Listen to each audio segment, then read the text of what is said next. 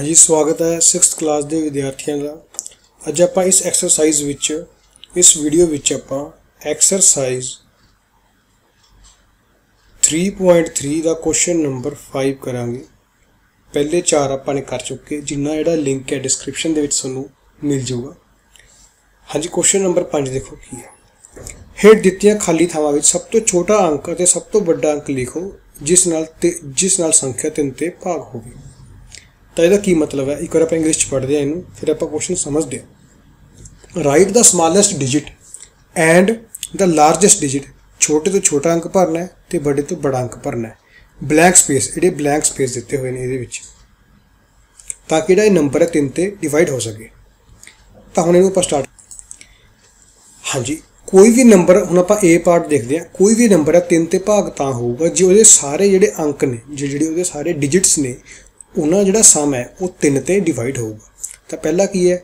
6724 ਹੁਣ ਇਹਨੂੰ ਆਪਾਂ ਚੈੱਕ ਕਰਨਾ ਵੀ ਇਹ 3 ਤੇ ਡਿਵਾਈਡ ਹੋਊਗਾ ਜਾਂ ਨਹੀਂ ਹੋਊਗਾ। ਤਾਂ ਇਹਨੂੰ ਆਪਾਂ ਐਡ ਕਰਤਾ। 246 6 ਤੇ 7 13 13 ਤੇ 6 ਕਿੰਨੇ ਹੋ ਗਏ? ਇਹ ਹੋ ਗਏ 19 19 ਹੁਣ 19 ਆਪਣੇ ਕੋਲ ਆ ਗਿਆ। ਇਹਨਾਂ ਚਾਰਾਂ ਦਾ ਜੋੜ 19 ਬਣ ਗਿਆ।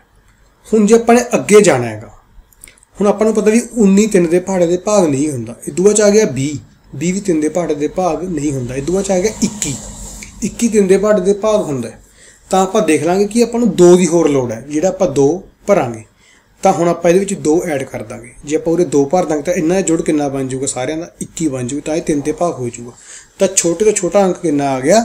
2 ਅੱਗੇ, ਹੁਣ ਆਪਾਂ ਚੈੱਕ ਕਰਾਂਗੇ ਆਪਾਂ ਇਹਦਾ ਬੜੇ ਤੋਂ ਬੜਾ ਅੰਕ। ਹੁਣ ਆਪਾਂ ਨੂੰ ਪਤਾ ਲੱਗ ਗਿਆ ਜਿਵੇਂ ਜਿਵੇਂ 6 7 2 4 ਹੈ, ਇਹਦੇ ਅੰਕਾਂ ਦਾ ਜੋੜ ਕਿੰਨਾ ਬਣ ਗਿਆ? 19 ਤਾਂ ਸਭ ਤੋਂ ਪਹਿਲਾਂ ਆਪਾਂ ਇਹਦੇ ਵਿੱਚ ਬੜਾ ਤੋਂ ਬੜਾ ਅੰਕ ਐਡ ਕਰ ਦਿੰਦੇ ਹਾਂ। ਸਭ ਤੋਂ ਵੱਡਾ ਅੰਕ ਕਿਹੜਾ ਹੁੰਦਾ? 9 19 ਤੇ 9 ਕਿੰਨੇ ਬਣਨਗੇ? 28 ਪਰ 28 ਤਿੰਨ ਦੇ ਪਹਾੜੇ ਦੇ ਭਾਗ ਨਹੀਂ ਹੁੰਦਾ। ਇਸ ਕਰਕੇ ਆਪਾਂ ਇਹ ਤੋਂ ਇੱਕ ਛੋਟਾ ਲਵਾਂਗੇ। 9 ਪਹਿਲਾਂ 9 ਲਿਆ ਸੀ, ਹੁਣ ਆਪਾਂ ਕੀ ਲਵਾਂਗੇ? 8 ਲਵਾਂਗੇ। ਤਾਂ 19 ਤੇ 8 ਕਿੰਨੇ ਹੋ ਗਏ? 27 ਮੰਨ ਲਓ ਜੇ ਆਪਾਂ ਉਰੇ 8 ਭਰ ਦਾਂਗੇ, ਤਾਂ 19 ਦੇ 8 ਕਿੰਨੇ ਹੋ ਗਏ? 27 27 ਤਿੰਨ ਦੇ ਪਹਾੜੇ ਦੇ ਭਾਗ ਹੋ ਜਾਊਗਾ। ਇਸ ਕਰਕੇ ਵੱਡੇ ਤੋਂ ਵੱਡਾ ਅੰਕ ਆਊਗਾ 8 ਤਾਂ ਇਹ ਆਪਣਾ ਆਨਸਰ ਹੈ 8 ਠੀਕ ਹੈ ਜੀ? ਛੋਟੇ ਤੋਂ ਛੋਟਾ ਅੰਕ ਕਿੰਨਾ ਆ ਗਿਆ? 2 ਆ ਗਿਆ। ਵੱਡੇ ਤੋਂ ਵੱਡਾ ਅੰਕ ਕਿੰਨਾ ਆ ਗਿਆ? 8 ਆ ਗਿਆ। ਤਾਂ ਇਸ ਤਰੀਕੇ ਨਾਲ ਆਪਾਂ ਇਹਨੂੰ ਚੈੱਕ ਕਰ ਸਕਦੇ ਹਾਂ। ਅੱਗੇ ਦੇਖੋ ਜੀ, ਇਹਦਾ ਪਾਰਟ B ਪਾਰਟ B ਲਈ ਕੀ ਆ ਆਪਣੇ ਕੋਲ?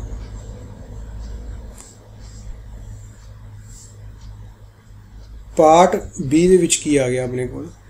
4765 ਡੈਸ਼ 2 ਹੁਣ ਆਪਾਂ ਇਹਦੇ ਵਿੱਚ ਖਾਲੀ ਸਥਾਨ ਭਰਨਾ ਹੈ। ਪਹਿਲਾਂ ਆਪਾਂ ਇਹਨਾਂ ਨੂੰ ਐਡ ਕਰਦੇ 4 7 11 11 ਦੇ 6 17 17 ਦੇ 5 22 22 ਤੇ 2 24 ਠੀਕ ਹੈ ਜੀ 24 ਬਣ ਗਿਆ।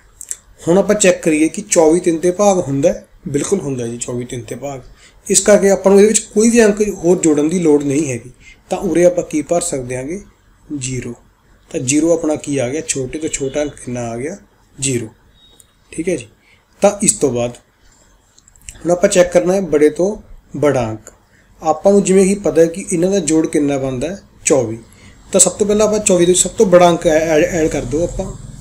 ਤਾਂ 24 ਦੇ ਸਭ ਤੋਂ ਵੱਡਾ ਅੰਕ ਕਿਹੜਾ ਹੁੰਦਾ? 9 9 ਐਡ ਕਰਤਾ ਤਾਂ ਇਹ ਬਣ ਜਾਊਗਾ 33 33 ਵੀ 3 ਤੇ ਭਾਗ ਹੁੰਦਾ ਹੈ ਕਿਉਂਕਿ 11 ਤੀਆ ਕਿੰਨਾ ਹੁੰਦਾ? 33 3 ਤੇ ਭਾਗ ਹੁੰਦਾ ਇਸ ਕਰਕੇ ਆਪਾਂ ਉਰੇ 9 ਬੜੇ ਤੋਂ ਬੜਾ ਅੰਕ ਭਰ ਸਕਦੇ ਹਾਂ।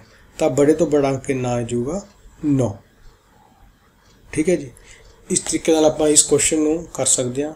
ਅੱਗੇ ਦੇਖਾਂਗੇ ਜੀ ਆਪਾਂ ਕੁਐਸਚਨ ਨੰਬਰ 6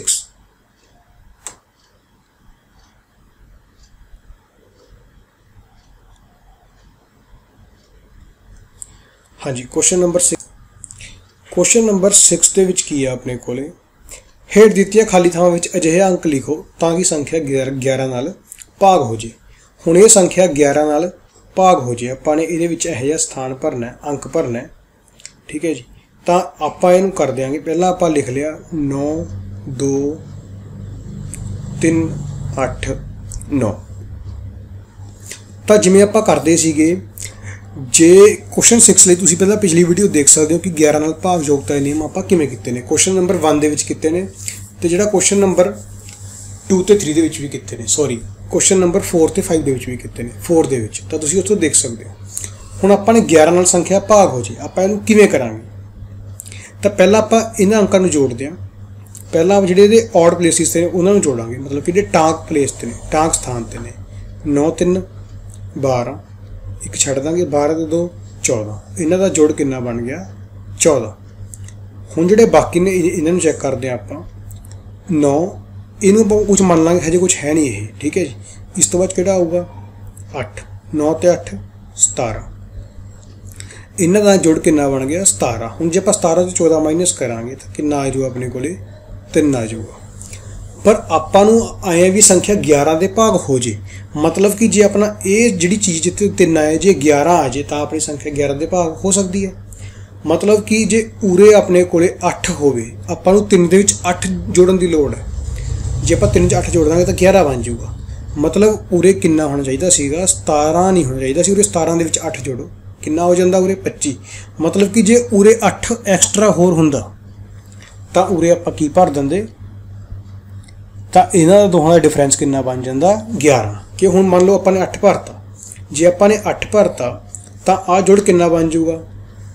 ਇਹ ਬਣ ਜਾਊਗਾ 9 ਤੇ 8 17 17 ਤੇ 8 25 ਤਾਂ ਹੁਣ 25 ਜੋ ਆਪਾਂ 14 ਮਾਈਨਸ ਕਰਾਂਗੇ, ਇਹ ਕਿੰਨਾ ਬਣ ਜਾਊਗਾ?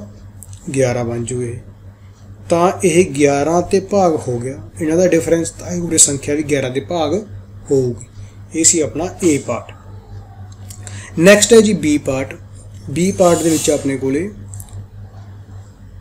8 ਡੈਸ਼ 9 4 8 4 ਤਾਂ ਹੁਣ ਉਰੇ ਦੇਖਦੇ ਹਾਂ ਜੀ ਆਪਾਂ। ਪਹਿਲਾਂ ਆਪਾਂ ਇਹਦੇ ਚੱਕ ਲਏ ਟਾਂਕ ਸਥਾਨ 4 ਤੇ 4 8 ਇਹਨੂੰ ਆਪਾਂ ਕੁਝ ਹਜੇ ਮੰਨ ਲਾਂਗੇ ਵੀ ਇਹ ਕੁਝ ਨਹੀਂ ਹੈਗਾ। ਜ਼ੀਰੋ ਮੰਨ ਲਓ ਚਾਹੇ ਇਹਨੂੰ। ਠੀਕ ਹੈ ਜੀ। ਇਹ ਆਪਾਂ ਅੰਕ ਬਾਅਦ ਚ ਭਰਾਂਗੇ। ਤਾਂ ਆਪਣੇ ਉਰੇ ਅੰਕਾਂ ਦਾ ਸਥਾਨ ਕਿੰਨਾ ਬਣ ਗਿਆ? 8 ਹੁਣ ਆਪਾਂ ਚੈੱਕ ਕਰਦੇ ਹਾਂ ਈਵਨ ਪਲੇਸ ਵਾਲੇ। 8 ਤੇ 9 17 ਤੇ 8 25 ਇਹ ਬਣ ਗਿਆ 25 ਤਾਂ ਹੁਣ ਆਪਾਂ ਨੇ 25 ਮਾਈਨਸ ਜਦੋਂ 8 ਕਰਾਂਗੇ ਤਾਂ ਆਪਣੇ ਕੋਲ ਆ ਜਾਊਗਾ ਇਹ। 25 ਚੋਂ 8 ਘਟਾਵਾਂਗੇ ਤਾਂ ਕਿੰਨਾ ਆ ਜਾਊਗਾ ਇਹ? ਇਹ ਆ ਜਾਊਗਾ ਆਪਣੇ ਕੋਲੇ 17 ਤਾਂ ਇਹਨਾਂ ਦਾ ਦੋਹਾਂ ਦਾ ਡਿਫਰੈਂਸ ਕਿੰਨਾ ਆ ਗਿਆ? 17 ਪਰ ਹੁਣ ਕੀ 17 11 ਦੇ ਭਾਗ ਤਾਂ ਹੁੰਦਾ ਨਹੀਂ। ਇਸ ਕਰਕੇ ਆਪਾਂ ਨੂੰ ਉਹਦਾ ਡਿਫਰੈਂਸ ਕੀ ਲੈ ਕੇ ਆਣਾ ਪਊਗਾ? 11 ਤਾਂ ਆਪਾਂ 11 ਡਿਫਰੈਂਸ ਲਿਆਉਣ ਵਾਸਤੇ ਜਿਹੜਾ ਉਰੇ ਆਪਾਂ 0 ਮੰਨਿਆ ਸੀਗਾ ਜਾਂ ਕੁਝ ਵੀ ਨਹੀਂ ਮੰਨਿਆ ਸੀਗਾ, ਤਾਂ ਇਹ ਚੋਂ ਆਪਾਂ 6 ਮਾਈਨਸ ਕਰਤੇ ਨੇ ਤਾਂ ਹੀ 11 ਆਊਗਾ ਆਪਣੇ ਕੋਲੇ। ਜੇ ਆਪਾਂ 17 ਦੇ ਵਿੱਚੋਂ 6 ਮਾਈਨਸ ਕਰਾਂਗੇ, ਤਾਂ ਹੀ ਆਪਣੇ ਕੋਲ 11 ਆਊਗਾ। ਹੁਣ ਮਤਲਬ ਕਿ ਉਰੇ ਜਿਹੜਾ ਖਾਲੀ ਸਥਾਨ ਸੀਗਾ ਇੱਥੇ ਆਪਾਂ ਨੂੰ ਕੀ ਭਰਨ ਦਾ ਫਾਇਦਾ ਹੈ? 6 ਮੰਨ ਲਓ ਆਪਾਂ ਨੇ 6 ਪੁੱਟ ਕਰਤਾ ਹੋਵੇ। 6 ਭਰਤਾ। ਤਾਂ ਹੁਣ ਕਿੰਨਾ ਬਣ ਜੂ? 4 ਤੇ 4 8 ਤੇ 6 14 ਤਾਂ ਉਰੇ ਆਪਾਂ 14 ਜੋੜ ਬਣ ਜੂ ਇਹਨਾਂ ਦਾ। ਤਾਂ ਜਿੱਥੇ ਆਪਾਂ ਨੇ 8 ਮਾਈਨਸ ਕੀਤਾ, ਇੱਥੇ ਆਪਾਂ ਕੀ ਮਾਈਨਸ ਕਰਾਂਗੇ? 14 ਤਾਂ 25 14 ਮਾਈਨਸ ਕਰਾਂਗੇ, ਕਿੰਨਾ ਆ ਜਾਊਗਾ? 11 ਦੇ 11 11 ਦੇ ਭਾਗ ਹੋ ਜੂ, ਇਸ ਕਰਕੇ ਜਿਹੜੀ ਸੰਖਿਆ ਵੀ 11 ਦੇ ਭਾਗ ਹੋ ਜੂਗੀ। ਇਸ ਕਰਕੇ ਆਪਾਂ ਉਰੇ ਕੀ ਭਰਾਂਗੇ? ਠੀਕ ਹੈ ਜੀ? ਤਾਂ ਆਪਣਾ ਕੁਐਸਚਨ ਨੰਬਰ ਜਿਹੜਾ 6 ਹੈ, ਇਹਦੀ ਕੰਪਲੀਟ ਹੋ ਗਿਆ। ਮੈਨੂੰ ਉਮੀਦ ਹੈ ਕਿ ਤੁਹਾਨੂੰ ਇਹ ਪੂਰੇ ਪੂਰੇ ਸਮਝ ਆ ਗਏ ਹੋਣਗੇ। ਤਾਂ ਤੁਸੀਂ ਇਹਨੂੰ ਕਾਪੀ ਤੇ ਬਾਰ-ਬਾਰ ਕਰਕੇ ਦੇਖੋ ਤੇ ਇਹਨਾਂ ਨੂੰ ਸਮਝੋ। ਰੂਲ ਸਮਝੋ ਸਾਰੇ। ਠੀਕ ਹੈ ਜੀ? ਧੰਨਵਾਦ।